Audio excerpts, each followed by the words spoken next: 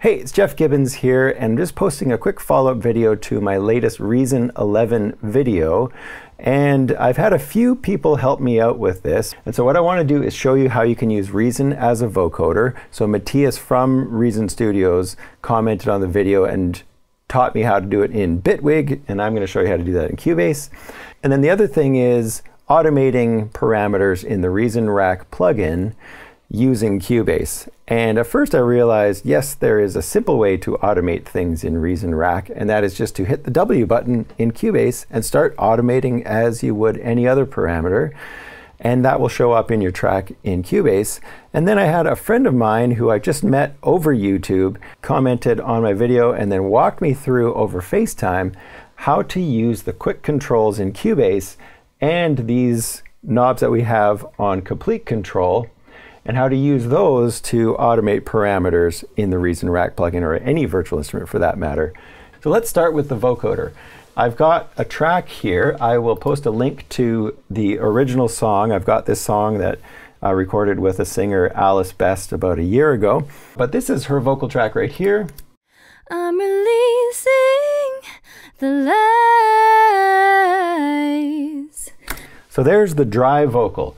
And so what we need to do is put the Reason Rack plugin as an insert on our audio track in Cubase. So I've got my vocal track right here. I hit the E button and up pops the inserts and right there I put a Reason Rack plugin effect on the first slot. So you would see something like this. You go to Other and choose the Reason Rack plugin. Then once I did that, I loaded it up an instrument. So I've got the Europa synthesizer running inside my Reason rack, and then underneath that I put a vocoder. And now the routing definitely matters on the back. And so what we need to do is turn the rack around by pressing flip rack, and you can see the routing that I've done on this one here. It looks kind of complex, but this is how it works. Something I didn't even notice when I was first looking at Reason in that first day is this audio in from host. And this is new for the Rack plugin. We've got audio in from host, so I can take audio from Cubase and route it into some source. And so in this case, what I did is I routed it into the vocoder as the modulator.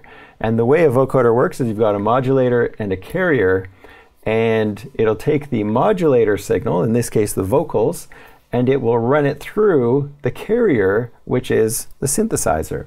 So we need to have those two things kind of merging together in this vocoder instrument. Main out goes to the modulator input. This is now my vocal track that's going to go to the modulator. And then I take the carrier input from the Europa synthesizer. So I'd go left and right out from that. And then I take the output of the vocoder and I run it to the main outputs on this one rack effect. Now what I need to do in Cubase is make a MIDI track. And I make sure that this MIDI track is running out to my vocal track's first insert slot. So this MIDI track is now sending MIDI information to this Reason Rack effect on my vocals as an, that's being used as an insert. Now this MIDI information goes to whatever's on that first insert. In this case, it is the Europa synth. And then the audio, the vocal track, is being processed by the vocoder. And don't forget with the vocoder, if you have no MIDI running, in other words, there's nothing here, you won't hear anything. The only time you'll start hearing something, let's say this was not here at all, is if you have keys playing. So now I press some keys down.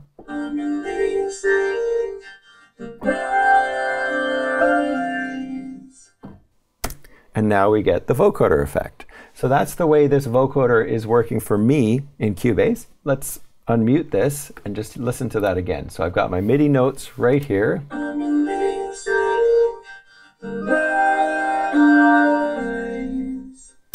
So that vocoder is working perfectly. I can go to my vocoder effect, hit the E button right here.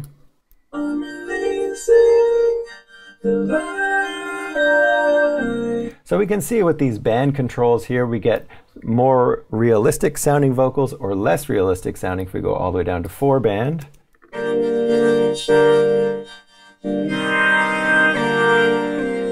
And then the cool thing about it is you can do things like this press this hold button.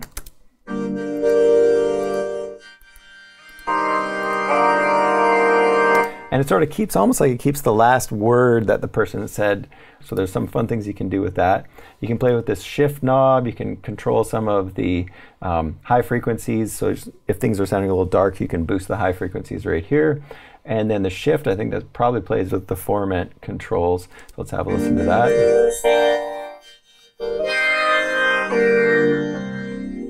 So that's like playing with the uh, harmonic content of of what's running through the vocoder.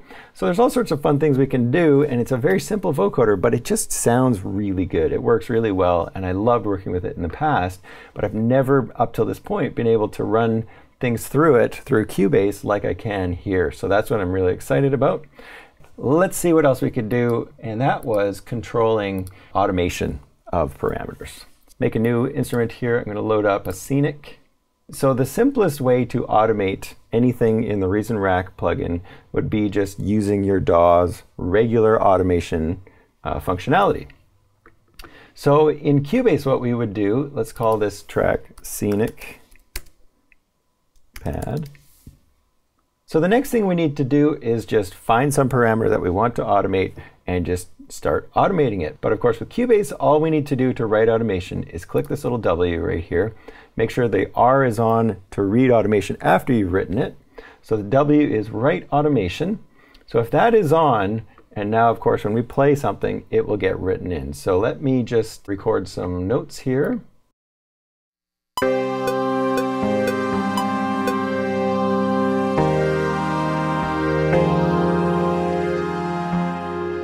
Okay, so now that I've got something recorded, let's try automating something with this, this thing. So all we need to do is start grabbing your parameter that you want to automate. So here we go. Let's go a little bit earlier with the W on.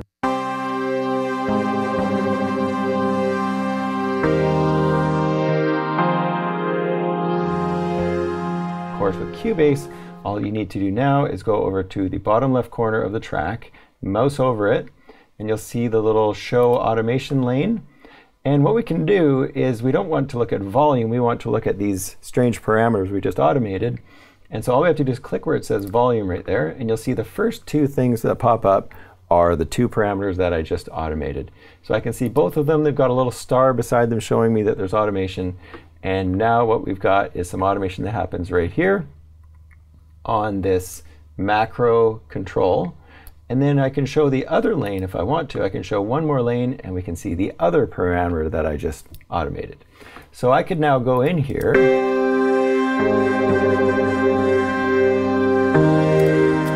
and I could do whatever I want with that automation. So I could make this automation happen exactly on the beat, you know, get rid of this point right here just by clicking it and deleting it. And then of course, if we watch our scenic, we'll see it all changing.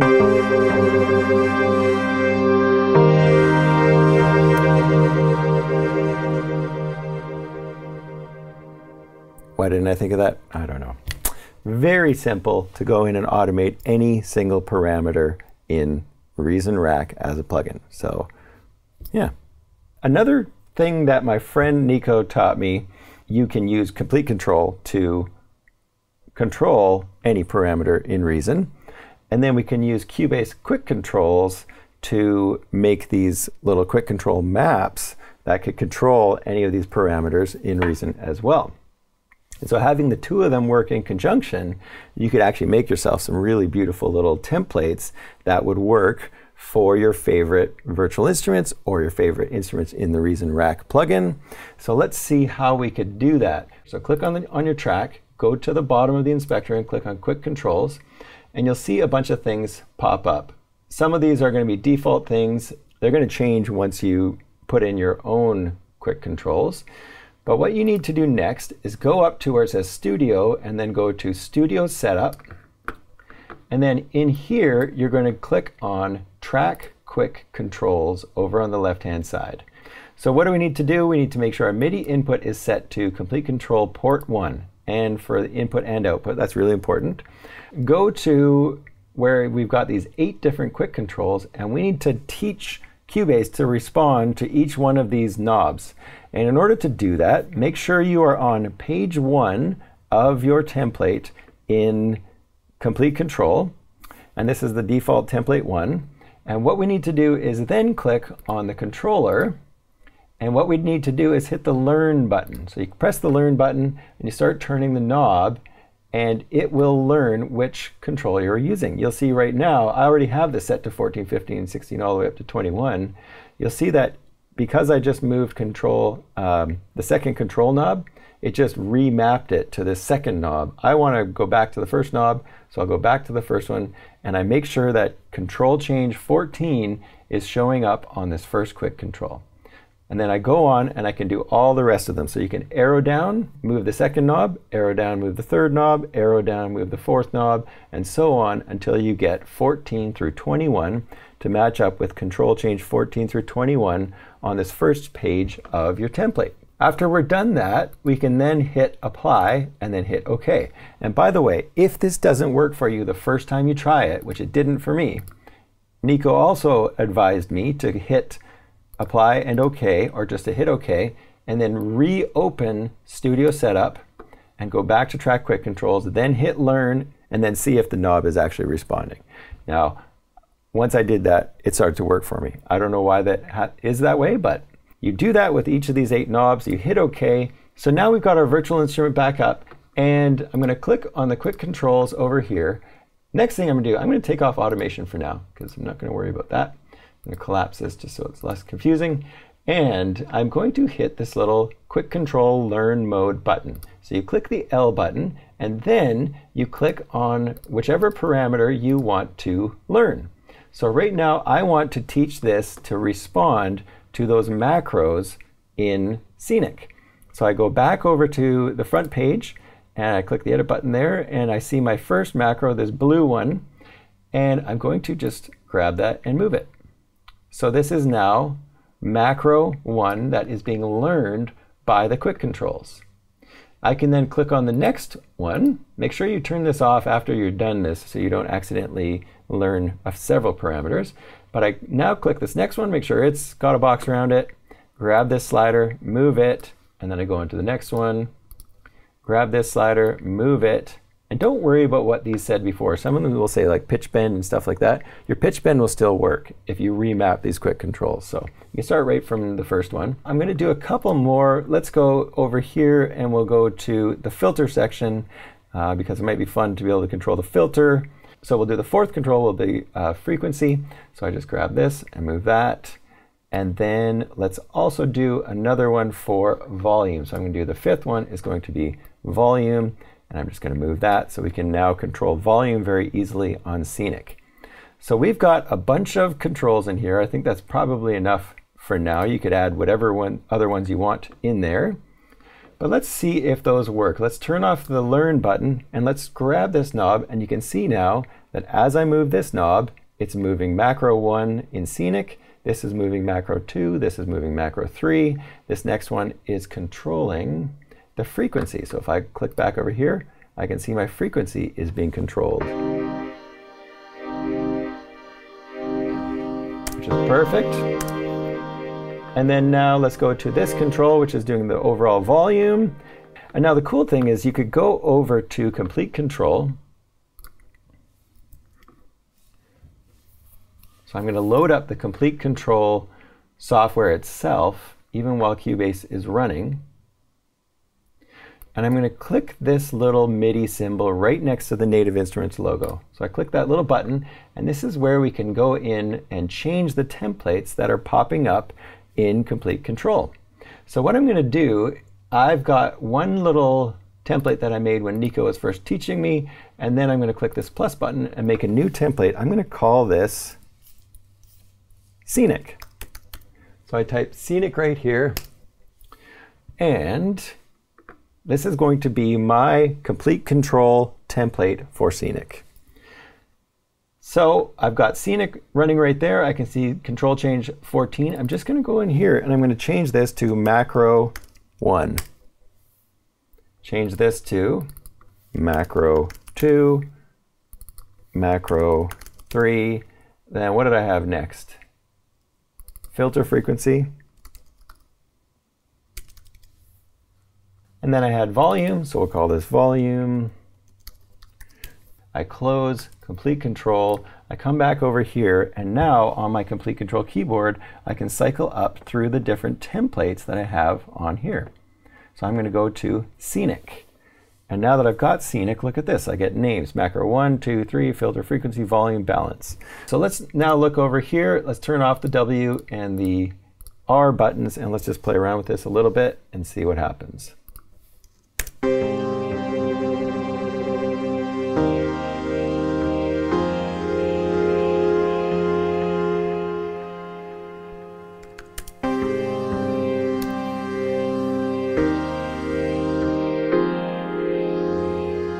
Filter frequency.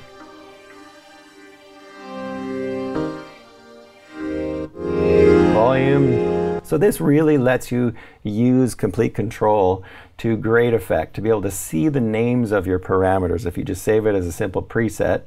Don't forget to also make a preset for your quick controls in Cubase. So come over to the inspector and click on this little tiny box right here and then go save preset we're going to call this scenic. And then from now on, whenever you go over to your quick controls, if you make a new scenic track, all you have to do is go over to your quick controls and then from the drop down menu, choose scenic. And you'll see this list over here change. There we go. And now we've got all of our macros ready to go on our new scenic track.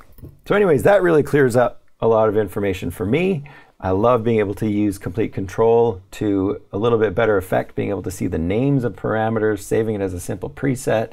Using these quick controls in Cubase is just going to be a huge time saver and allow you to control things with your hardware much easier. You could use that with any virtual instrument or parameter. So click on the subscribe button and the bell and stay tuned. I'm going to be posting lots of videos about all sorts of things related to music production. And thanks for watching.